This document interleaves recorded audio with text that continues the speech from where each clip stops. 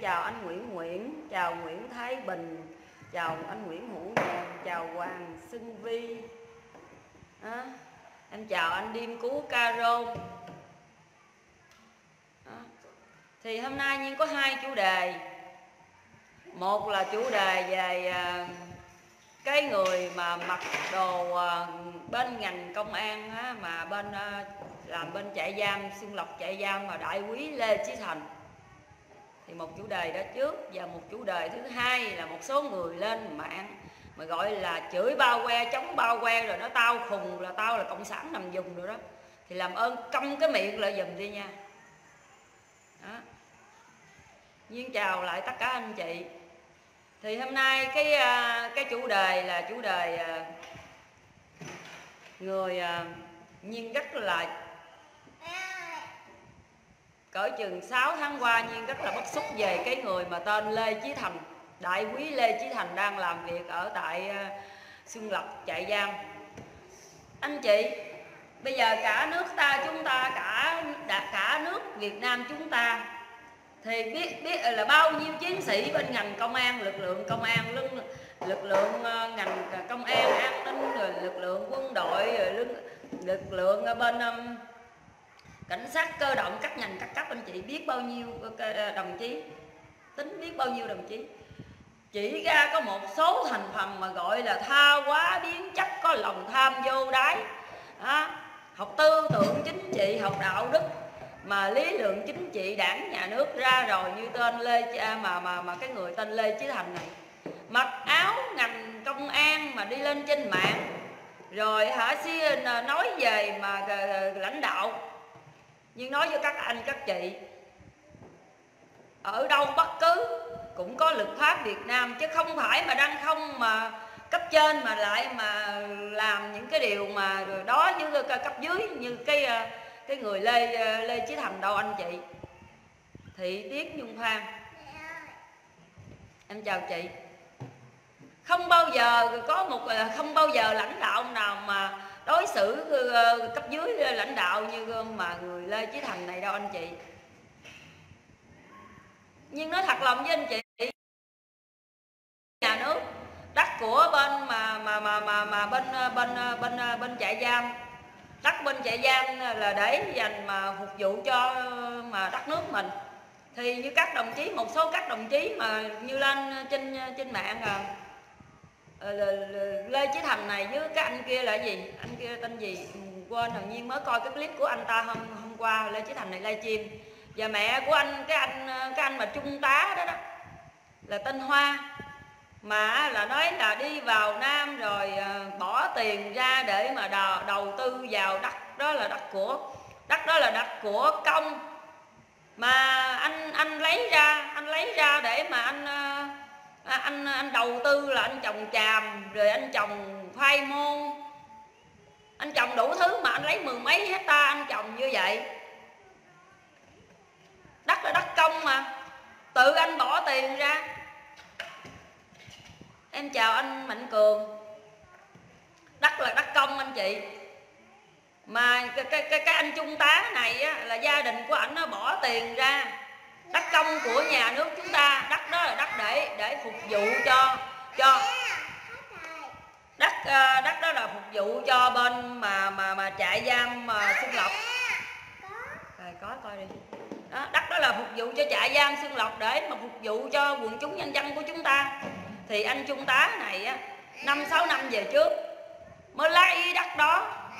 À, mới xong mới phá quan ra mới là trồng ba cái chàm lên. Mà tại sao năm ờ, sáu năm 10 năm nay cho là 10 năm đi. 10 năm đã ở đây đất đất tiếc đất nhà nước mà anh ta đi phá quan rồi bỏ tiền vô đầu tư để trồng tràm rồi trồng khoai môn. Rồi trồng khoai môn không là ờ, uh, 5 công. Đó 5 công là 5 ngàn. 5 ngàn mét uh, vuông đất uh, mà mà của quân đội mà để trồng trồng khoai môn. Rồi xong mười mấy ngàn hecta 16 ngàn hecta là 16 mẫu. Một hecta là một mẫu. Đó là 10 ngàn một hecta là 10 ngàn mét vuông là 16 16 ngàn hecta. Để mà trồng tràm mà đất đất của quân đội anh trung tá này bỏ tiền vô để anh anh anh anh, anh trồng anh chọt như vậy. Tại sao anh biết đất của nhà nước mà anh còn đi trồng? Đúng không? Cho nên khi mà sự việc xảy ra rồi á, là bên ờ, mà mà mà chạy ờ, xuân chạy gì? Xuân lộc chạy ra à, bên chạy ra mới lấy lại đất đó làm công việc thì phải khóa lại khóa trang ủi là hết bà hoàn toàn. Thì dĩ nhiên anh ờ, đất an ninh quốc gia. Cả chi mà tham vậy? Dạ anh nguyễn hữu nhàn. Anh trung tá này và mẹ ảnh là tên là cô qua gì đó. Mà cái cái tên mà, cái tên mà đại quý lê chí thành mà lên livestream hàng ngày mà lôi cái anh trung tá này với mẹ của anh ta vô đó mà nói câu chuyện này thì nhiên đã coi hết cái clip đó thì ngày hôm nay nhiên mới có cái là anh này á, là bị khai trừ khỏi đảng bị tước quân tịch thì thì nhiên thật sự coi những cái clip đó là nhiên rất là bất xúc. Nhiên chờ tới ngày anh ta mà bị tước quân tịch ngày hôm qua và khai trừ khỏi đảng nhiên mới lên một cái clip này sẽ nói cho anh chị biết về cái vụ đó. Nhiên coi nhiều cái clip của tên lê chí thành này. Cái người mà tên lê chí thành này bị tước quân tịch đó ờ, mà khai trừ khỏi đảng đó anh chị thì anh này lợi dụng cái anh trung tá và mẹ của anh trung tá đó. Hỏi anh chị đất an ninh quốc phòng để mà phục vụ cho quần chúng nhân dân phục ờ, phục vụ cho mà mà mà mà bên bên bên, bên công tác đảng nhà nước tôi ta để làm việc. Thì anh lê anh cái anh mà trung tá này anh lấy đất đó. Anh khóa quan anh đi trồng anh biết đất của quốc phòng mình mà đem anh đi khóa quan rồi anh đi trồng ba cái điều à, ba cái gì? Ba cái chàm anh trồng ba cái tràm rồi xong anh cải tạo, rồi anh anh anh anh trồng lên mấy cái củ gì? Mấy cái củ mô hay môn. Rồi khi mà đất quốc phòng lấy lại làm công việc thì phải ủi phá trang trải, ủi phá chứ. Đang không anh lấy đất quốc phòng anh làm. Thì dĩ nhiên bây giờ lấy lại là ủi anh được kêu bồi thường ai? Giờ bồi thường ai? Giờ bồi thường ai? Tại sao biết đất đó, đất quốc quốc của quốc phòng mà mình lại mình còn cố tình mình còn cố tình để mà mình lấy ờ, lấy đất đó mà để mình làm cái của riêng của mình. Khi mà đạo quốc phòng lấy lại thì ủi đất đó ra thì nói là cấp trên là hà hiếp ở dưới ờ, ở dưới. Không có ai dám làm điều đó hết anh chị. Anh chị đi nghĩ đi mười mấy ngàn hecta đất đó. Trước nhất anh chị muốn lấy đất quốc phòng đó thì phải sao? Phải xin cấp trên. Phải có giấy tờ ừ, cho tôi mượn cái miếng đất này 10 năm hay hoặc 5 năm để tôi để mà trồng trọt lên đó để cho để cho gia đình tôi nó thoát cả cảnh mà à, mà, mà nghèo đi. Thì quốc thì những là là sao? Là cấp trên sẽ làm cho một cái giấy cho anh mượn cái đất đó. Còn này cấp trên không cho mượn mà tự anh làm ngang thì bây giờ sau khi mà lấy lại lấy đất quốc phòng đó để mà lại à, lấy lại lấy lại để mà mà phục vụ cho cho cho cái mà, mà quốc phòng thì anh ta lên kêu quan là với tên Nguyễn Chí Thành mà mà, mà cái tên mà đại quý Nguyễn Chí Thành này lợi dụng đó. Rồi lên mạng để mà hả like chim. Like chim để, để thành phần đó là sao? Lợi dụng. Để cho bọn phản động nó lợi dụng đó nó lấy hình ảnh đó nó xuyên tạc. Con coi hình trên đó. Để cho không có không có sổ mà tính ờ, làm văn quan đúng rồi hoàng xuân vi đó thì anh chị nghĩ đi. Thì vậy là kỷ lực hai đứa hả nhiên? Chị chỉ nghe kỷ lực có một người thôi chị còn cái anh trung tá chi kia thì mình chưa nghe. Đó chị ờ, cái chị ờ, chị, ờ, chị nhung. Anh chị bởi vì cái tên mà mặc đồ quân phục mà gọi là đại quý lê chí thành là gọi là tha quá biến chất học lý luận chính trị học lý lừa, lừa lực ờ, đảng luôn rồi. Mà tư tưởng không vững vàng. Ở trên đất nước Việt Nam mà mà có mà mà mà tất cả những người mà như mà mà mà những người mà như Lê Chí Thành đó đại quý mà Lê Chí Thành lên livestream á thì chắc cả nước này nhân dân này loạn lạc lên. Cái thành phần như tha quá biến chất Lê Chí Thành là gọi là tha quá biến chất tư tưởng không vững vàng. Cho nên lên livestream coi nhỏ lãnh đạo livestream chức mà lãnh đạo để mà để mà, để cho bọn phản động nó lợi dụng đó. À, nó lợi dụng đó để nó xuyên tạc vào chính sách đảng nhà nước, xuyên tạc vào các ngành, các cấp của chúng ta. Không có cái gì mà quen hết trơn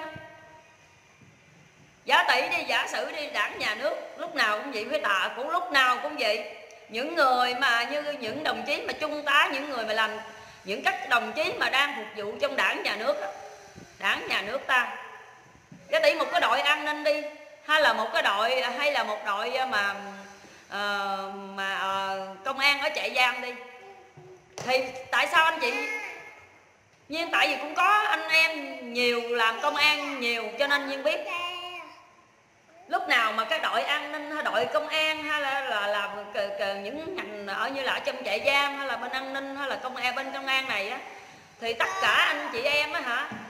Ờ, ta tất cả những đồng đội đồng chí hả? Bảo vệ lẫn nhau lắm anh chị. Bảo vệ lẫn nhau cực kỳ lắm anh chị. Chứ không phải nhưng mà thật. Cô à cô nào đâu rồi? Cô này đúng không?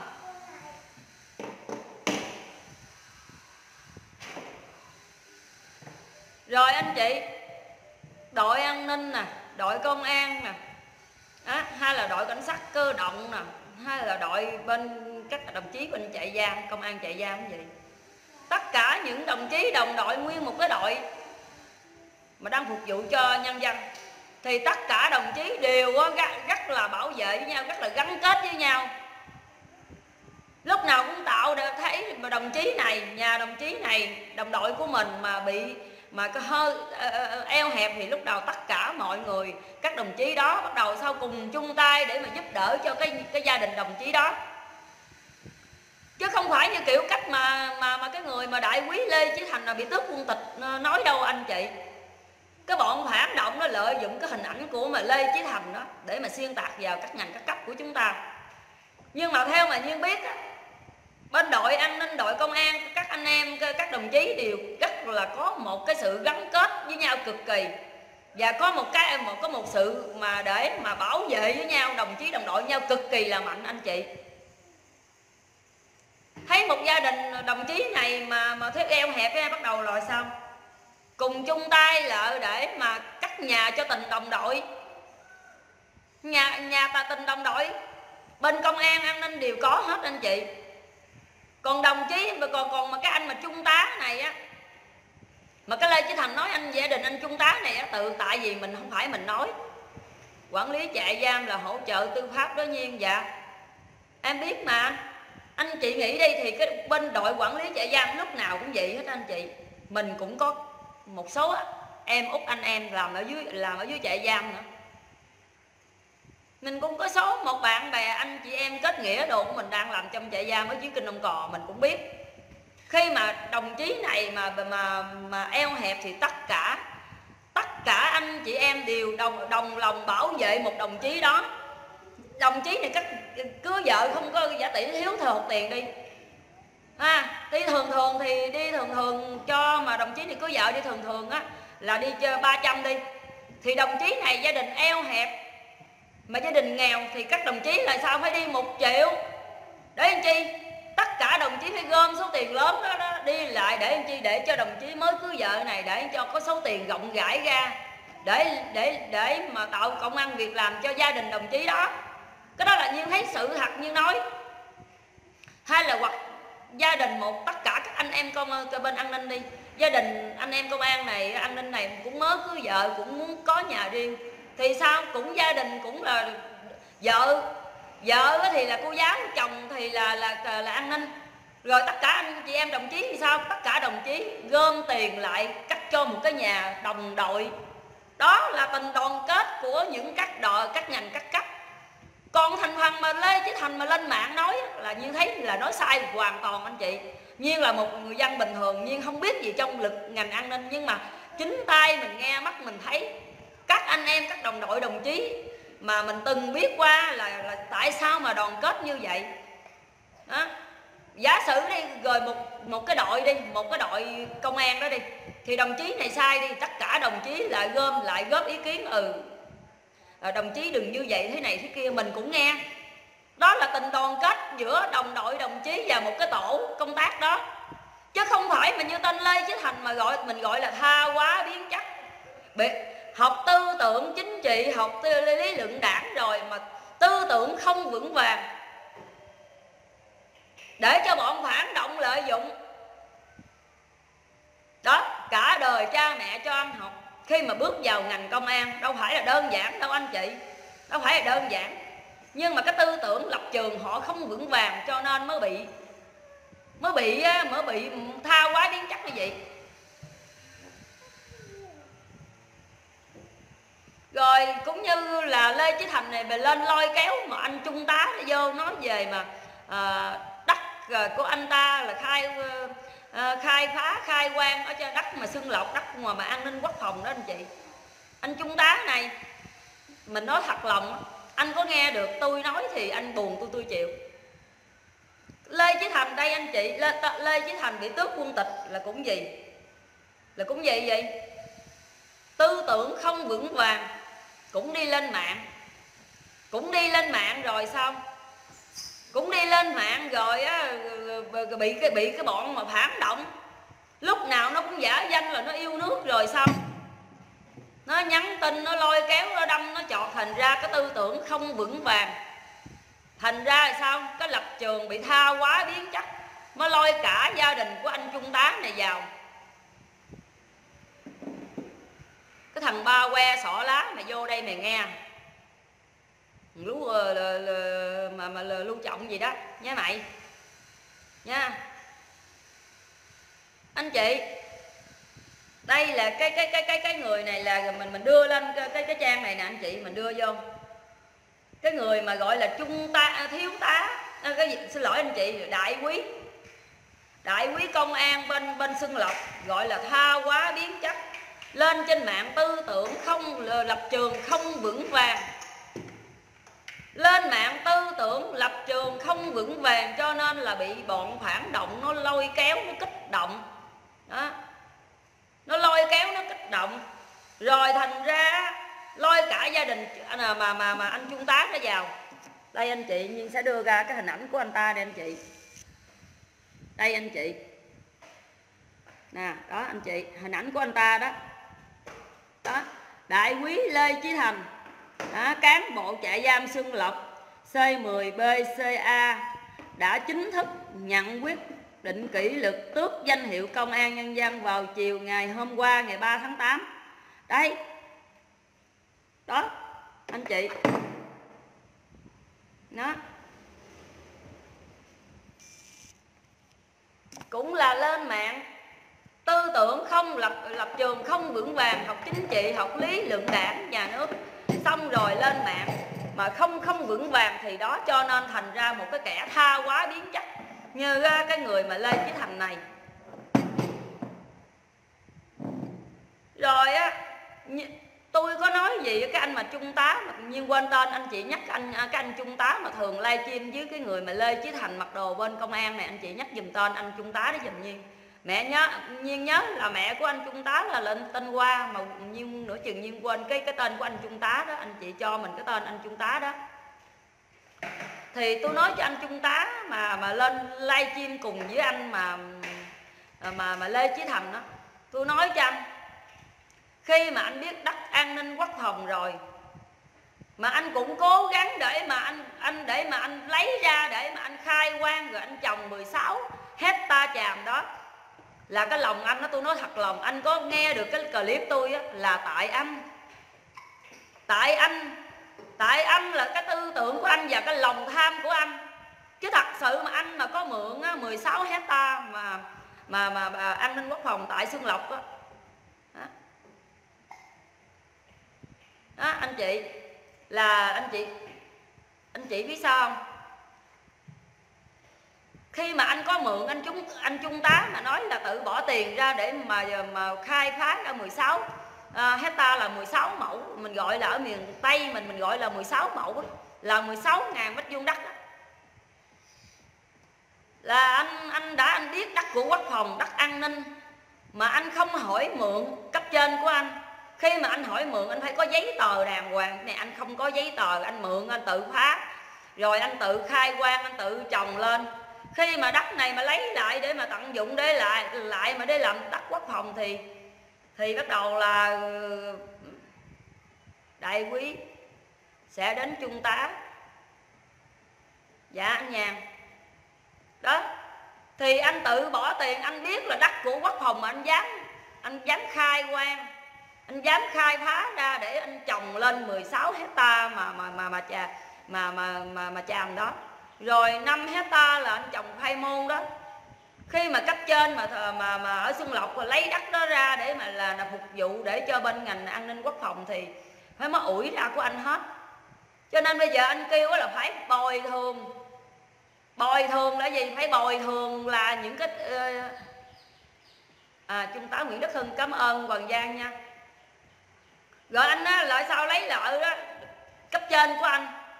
Đó, đội trưởng đội trưởng trưởng ờ, mà ờ, ờ, công an, cái gì, trưởng phòng công an ở trại giam lấy lại để mà phục vụ an ninh quốc phòng thì ủi hết 16 hecta đó và 5 hecta mà khoai môn. Thì anh phải kêu bắt bồi thường. Bồi thường gì? Anh đi kiện bồi thường bồi thường cái gì? Chừng nào mà cho anh mượn nè, có giấy tờ nè, rồi có hợp đồng nè, thì anh đi kiện lúc đó là cấp trên của anh đội trưởng của anh xá bồi thường cho anh thôi. Ừ, các anh đang không lấy đất của đất quốc phòng, các anh làm ngang. Rồi khi mà đất quốc phòng ta lấy lại, ta làm ta ủi. Bây giờ các anh phải bắt buộc đội trưởng á hả, là phải đi bồi thường cho các anh. Rồi các anh bây giờ, đội trưởng của các anh không bồi thường thì các anh chửi người ta. Các anh quậy phá người ta. Tại các anh lòng tham vô đáy còn chưa chẳng những nữa. Bây giờ các anh nói có một chiều à các anh trung tá mà à, trung tá mà à, nguyễn đức hưng á với mà mà mà, mà đại quý lê chí thành á hỏi bây giờ anh, anh nhiên hỏi anh chị nha tại sao biết đất quốc phòng biết biết đất an ninh quốc phòng mà mà anh trung tá nguyễn đức hưng này đất công mà còn lại sao dám cắt cái nhà xây dựng cái nhà lên đó không che chòi che chạy ở đỡ mà dám xây dựng nhà cửa kiên cố lên luôn? Thay vì tiền của anh bỏ vô anh xây cái nhà, đúng không? Kiên cố, đúng không? Thì bây giờ mình ra ngoài, mình mua đất, thiếu gì đất mình mua đó, một cái nền đó mình xây nhà lên. Đúng chưa anh chị? Bởi vì đại tá mà nguyễn đức hưng này, cách anh nói chuyện tôi nói thật á, tôi là một người nhà quê, tôi còn nhìn ra sự việc đó. Thay vì anh nguyễn, anh anh anh mà trung tá nguyễn đức hưng này á, tôi nói cho anh biết, anh nghe qua được clip tôi á. Anh cố tình anh cố tình lấy đất công để làm duyên, để phục vụ duyên cho gia đình của anh anh cố tình. Tôi nói cho anh biết như vậy, tại sao anh biết đất quốc phòng, đất an ninh quốc phòng, mà anh còn là không phải đất của anh? Đúng không? Không phải, anh biết không phải đất của anh mà anh còn lên xây dựng, anh xây dựng lên cái ngôi nhà của anh anh xây tường, anh xây kiên cố lên. Đó. Rồi sao? Đội trưởng bên mà trưởng phòng ở trại, trại giam xuân lộc có còn nghĩ tình. Còn nghĩ tình để cái nhà cho anh ở đó tình đó là tình gì? Tình đồng đội đồng chí cho con anh còn ở cái chỗ đó để che mưa che nắng cho anh. Chứ gặp mà bọn văn quan đi. Gặp bọn văn quan đó nó hả gặp bọn văn quan nó ủi luôn. Cái anh mà đội trưởng á trưởng phòng mà mà mà, chạy giam ở mà ở xuân lộc á còn để cho anh ở đó đó là cái tình, đó là cái tình, cái nghĩa đồng đội, đồng chí của ảnh. Anh còn để cho anh ở đó đó. Chính anh cướp đất công, cướp đất an ninh quốc phòng. Rồi anh nói là anh tự ra khóa, rồi anh trồng trồng ờ, gì? Trồng gì? Trồng trồng ờ, ba cái gì? Trồng ba cái chàm 16 hecta mà anh bỏ tiền anh trồng chàm rồi ờ, 5 hecta mà anh trồng khoai. Rồi đất của quốc phòng an ninh mà anh xây cái nhà tường của anh lên kiên cố như vậy. Xây cái tường nhà lên mà mà kiên cố như vậy. Ủa đất mượn của người ta. Đâu phải đất đất của anh đâu đâu phải đất của anh hay đất mẹ của anh hay đất của ông nội của anh mà để lại đâu. Đúng chưa? Bất cứ anh mà xây lên anh xây nhà lên cái miếng đất đó, đúng không? Thì phải, đất đó là của ông nội anh để là cho ba anh ba anh để là cho anh thì anh có quyền anh xây khi mà ra tranh chấp ở đất này của ông nội tôi để cho ba tôi, thì tranh chấp đó là của cha của ông nội mình. Còn đất quốc phòng, đất an ninh quốc phòng mà anh lấy, anh biết là không phải của anh. Mà anh cố tình anh xây nhà kiên cố, vậy tôi hỏi anh anh có bị là quan không? Rồi á, cái người mà tên tên lê chí thành á á, là kích suối anh cái lỗi này không phải là lỗi của mà mà mà mà mà mà, mà, mà trưởng phòng uh, công an xuân lộc trại giam. Mà lỗi này á, là lỗi chính là lòng tham vô đáy của anh trung tá nguyễn uh, nguyễn gì? Nguyễn gì? Nguyễn hưng hả? Trung tá. Trung tá nguyễn gì? Uh, nguyễn đức hưng. Để nhiên ghim để nhiên nhớ. Tại cái lòng tham của anh á anh anh mà trung tá nguyễn đức hưng á là anh này là lòng cảnh tham. Biết là không phải đất của ảnh. Mà đất cũng chẳng có hợp đồng gì chứ anh tự lấy đất của an ninh quốc phòng ảnh tự khai khoan quan rồi ảnh trồng chàm rồi ảnh ảnh ảnh trồng khoai môn lên. Tới khi mà đất đó lấy lại để mà làm để mà làm lại cho mà mà mà mà, mà phục vụ cho công ờ, bên a, a mà an ninh quốc phòng thì cấp trên thì phải sao phải ủi hết chứ làm sao? Không, ủi mai mốt của đầu anh ra nói là đất này là anh anh khai quang mấy chục năm rồi, là có công người cài, có ruộng khai quang đầu anh anh lúc đó anh còn kêu quan nữa nè, nghe bắt nhỏ là cho mẹ nói chuyện. Nhiều thương lắm. Thay vì anh chị nhiên nói về hai cái người này nè. Lê đại thành à, à lê chí thành và trung tá nguyễn đức hưng. Mà nói về nghiêng về anh trung tá nguyễn đức hưng này nhiều hơn. Thay vì số tiền anh đầu tư vô á anh chồng anh lấy mà, mà, anh chồng vô mà 16 hecta 16 hecta gừng á 16 hecta chàm á thì tiền đó và tiền anh chồng khoai môn á và tiền anh mà cắt cái ngôi nhà lên mà mà mà hiện nay anh anh mình trung tá Nguyễn Đức Hưng đang ở đó thì cái số tiền đó anh gom lại anh mua bên ngoài được một cái miếng đất duyên cho ảnh rồi. Đằng này cái lòng tham của anh Nguyễn Đức Hưng, lòng tham vô đáy lấy đất của công mà làm đất riêng cho mình. Tới khi sự việc xảy ra, thì câu à, mà mà trưởng công an ở ở ở Xuân Lộc lấy lại thì bắt đầu là kêu quan ỷ là cấp trên hà hiếp cấp dưới. Đó là là gì? Phục vụ không cái anh mà mà mà lê chí thành nè. Cái anh đại quý mà lê chí thành là gọi là vu khống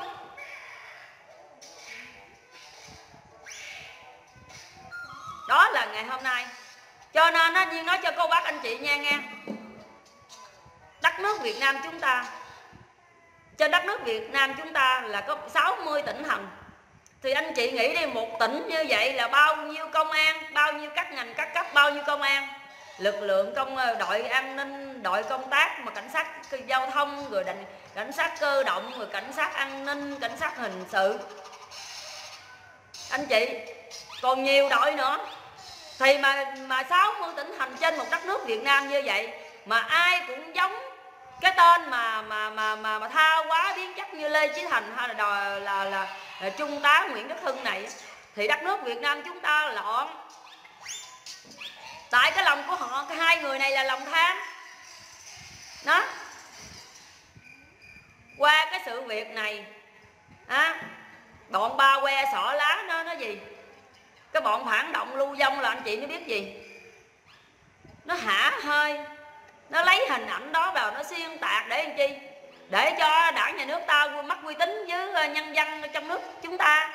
Và sao để, để làm nó hạ uy tín đảng nhà nước ta để cho mất uy tín đảng nhà nước ta trên trường quốc tế đó, anh chị. Đó là vừa bụng chưa? Cái tên mà người lê chí thành đó, anh vừa bụng anh chưa? Bây giờ anh khỏi đâu thừa ai hết đó, bụng làm dạ chịu. Cái tội anh ngu, hai anh ngu thì gác chịu. Hai anh tham tham quá thì gán mà chịu.